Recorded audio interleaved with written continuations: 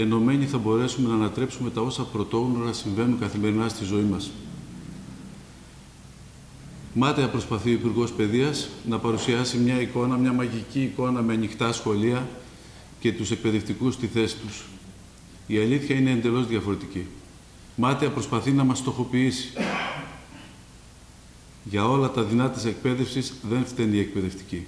Εμείς καθημερινά καταθέτουμε την ψυχή μας μέσα στην τάξη με όραμά μας ένα καλύτερο αύριο για τα παιδιά μας. Ακόμη και σήμερα τα σχολεία δεν έχουν βρει το βηματισμό τους. Υπάρχουν τεράστια κενά σε εκπαιδευτικό προσωπικό σε όλη την Ελλάδα και στο νομό μας, τα οποία, όπως είπα και πριν, καλούμαστε να καλύψουμε εμείς οι εκπαιδευτικοί.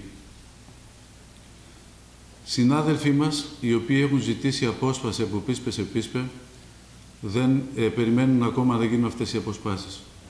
Ο πρώτος κύκλος των αποσπάσεων για δασκάλους και νηπιαγωγούς έγινε με μικρό αριθμό. Ο πρώτος κύκλος όμως για αποσπάσεις ειδικοτήτων δεν έγινε και δεν ξέρουμε πότε θα γίνει. Μέχρι τώρα το Υπουργείο έκλεινε, ε, έκλεινε σπίτια. Σήμερα έκλεινε σχολεία.